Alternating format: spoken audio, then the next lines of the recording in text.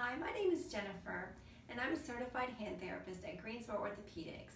In this video, I will discuss taking care of your custom splint.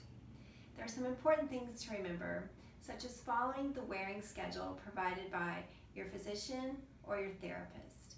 Typically, following surgery, you will be required to wear your splint full time, coming out of it to perform the exercises given to you by your therapist. You may also remove your splint for showers. However, each patient has individual needs and you should follow the guidelines specifically given to you by your therapist. Keep in mind that your splint will melt if it is in hot temperatures, so avoid leaving it in your car on a hot day and please do not place it in your dishwasher to clean it. In order to properly clean it, utilize cool water and soap or rubbing alcohol. Although this might sound funny, please keep your splint away from your pets as dogs really do enjoy chewing them. In terms of applying your splint, first place a stockinette on your hand.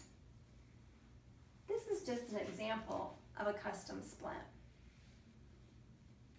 When you apply your straps, please ensure that there is still room underneath the strap to fit a finger so that it is not too restrictive.